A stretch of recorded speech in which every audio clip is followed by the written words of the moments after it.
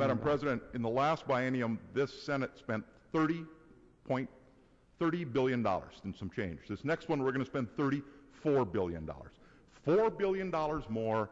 Just want to remind people that, that on the campaign tra- trail said they were going to come here and cut spending. This next budget under these targets is going to spend Senator $4 Bakk. billion of general fund more than the previous one. Senator